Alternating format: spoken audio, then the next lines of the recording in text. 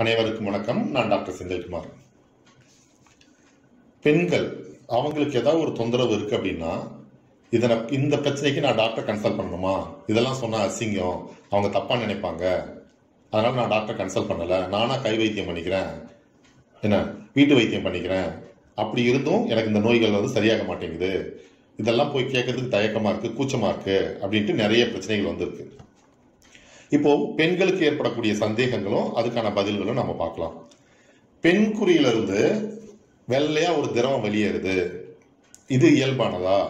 அல்லது நோயா? அப்படின்னு பார்த்தீங்கன்னா வச்சுக்கோங்க. அதாவது இந்த வெள்ளைப்படுதலை வந்து இயற்கையான வெள்ளைப்படுதல் இன்ஃபெக்ஷனால வ- வெள்ளைப்படுதல் நம்ம சொல்லுவாங்க. இயற்கையாக வெள்ளைப்படுறது வந்து ரொம்ப நேரம் ஓடினாலோ மாடிப்படி ஏறினாலோ செக்ஸ் வச்சதுக்கு அப்புறமோ மென்சஸ் வர்றதுக்கு முன்னாடியோ அல்லது மென்சஸ் வந்து ஒரு ரெண்டு நாள் கழிச்சோ வெள்ளைப்படுறதுன்றது வந்து இயல்பானது.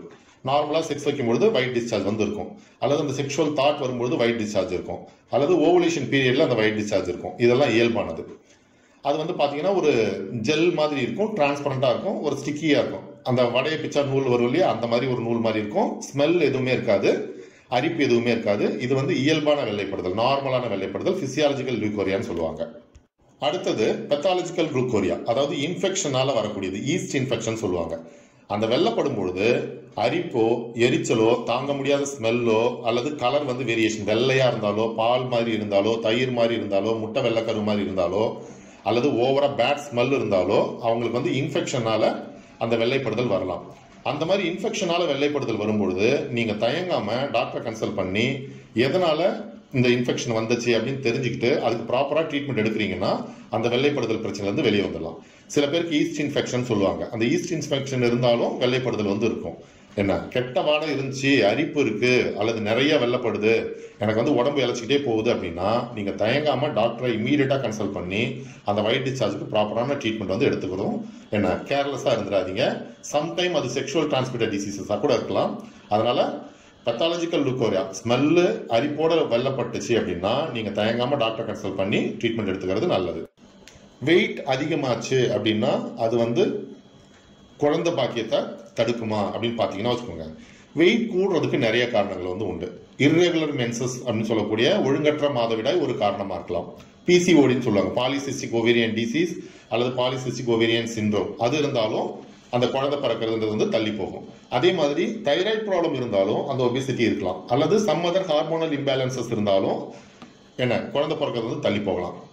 வெயிட் கூடுறதுக்கு என்ன ரீசன் ஃபுட்டா அல்லது ஹார்மோனல் இம்பேலன்சஸா அல்லது வந்து பிசிஓடியா அப்படின்றத வந்து டாக்டரை கன்சல்ட் பண்ணி டயக்னோசிஸ் ப்ராப்பராக டயக்னோசிஸ் பண்ணி அதுக்கு தகுந்த மாதிரி நீங்கள் ட்ரீட்மெண்ட் எடுக்கிறீங்கன்னா அந்த வெயிட் கெயின் இஷ்யூலேருந்து வெளியே வந்து ஏன்னா பிசிஓடி இருந்தது அப்படின்னா ரெகுலர் மென்ஸ்ட்ரேஷன் வந்து வந்து தைராய்ட் ப்ராப்ளம் இருக்குன்னா தைராய்டை நல்லா கண்ட்ரோல் பண்ணி வெயிட் லாஸும் பண்ணலாம். அதன் மூலமாக நீங்கள் சுலபமாக வந்து கன்சீவும் ஆகலாம். சில பேருக்கு வந்து எனக்கு மென்சஸ் வந்து ரெகுலராக இருக்குது ஆனால் எனக்கு ரெண்டு மென்சஸ்க்கு நடுவில் ஒரு பத்து நாள் பதினஞ்சு நாள் கழிச்சு எனக்கு வந்து அடிவயிறில் வலி வருது மார்பகத்தில் வலி வருதுன்னு சொல்லுவாங்க. இது நார்மலா அப்படின்னு கேட்குறாங்க இது வந்து நார்மலானது தான் அதாவது பொதுவாக மென்சஸ் முடிஞ்சு ஒரு பதினாலாவது நாள் ஓவுலேஷன் சொல்லக்கூடிய பதின முட்டை வெளியேற்றம் வந்து நடக்கும். அதாவது கருப்பையிலேருந்து அதுக்கு சினைப்பையிலேருந்து முட்டை வந்து வெளியேறும். சில பேருக்கு வந்து அந்த டைமில் மார்பகத்தில் வ- வலி இருக்கலாம் என்ன வெள்ளப்படுதல் இருக்கலாம். அக்கில் பார்த்தீங்கன்னா ஒரு விதமான ஸ்மெல் அண்டு ஹீட் இருக்கும். செக்ஷுவல் சென்சேஷன் அதிகமாக இருக்கும். செக்ஷுவல் நீட்ஸ் வந்து தேவைப்படும். இதெல்லாம் வந்து இயல்பானது. பெயின் ரொம்ப சிவியராக இருக்குது அப்படின்னா நீங்கள் டாக்டர் கன்சல்ட் பண்ணலாம். இல்லைன்னா வந்து நார்மலாக வெந்நீர் குடிச்சோ மைல்டு எக்ஸசைஸ் பண்ணியோ அதை வந்து நீங்கள் கண்ட்ரோல் பண்ணிக்கலாம். நிறைய காமன் கொஷின் என்ன அப்படின்னு பார்த்தீங்கன்னா வச்சுக்கோங்க. எனக்கு வந்து மார்பகம் வந்து சின்ன சின்னதாக இருக்குது அதை நான் பெருசு பண்ணணும். இதுக்கு என்ன பண்ணுறது அப்படின்னு கேட்பாங்க. உண்மையிலேயே மார்பகத்தை பெருசு பண்ணக்கூடிய மருந்துகள் அப்படின்னு வந்து எதுவுமே கிடையாது. சரியா?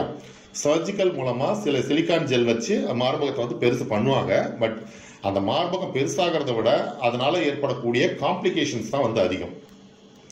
அதனால அந்த மார்பகம் பெருசாக்குற அறுவை சிகிச்சையை வந்து நீங்க அவாய்ட் பண்றது பெஸ்ட் சில எக்ஸசைஸ் அண்டு சில ஒரு சில ஹெர்பல் ஆயில்ஸ்லாம் வந்திருக்கு பட் அது ரிசல்ட் அக்யூரசி இருக்குமான்றதுலாம் வந்து தெரியாது.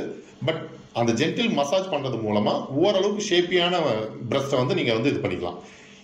அதே சமயம் சின்ன மார்பகம் இருந்தால் குழந்தைங்களுக்கு வந்து பால் ஊட்டுறது வந்து கஷ்ட கஷ்டமா அப்படின்னு பார்த்தீங்கன்னா வச்சுக்கோங்களேன் ரிட்ராக்டட் நிப்புன்னு சொல்லுவாங்க. அதாவது மார்பக காம்பு வந்து உள்ள சுருங்கி இருந்தால் தான் பிரச்சனையே தவிர மார்பக மார்பக காம்பு வந்து வெளியே நீட்டி இருக்குன்னா எந்த ஒரு பிரச்சனையுமே இல்லை.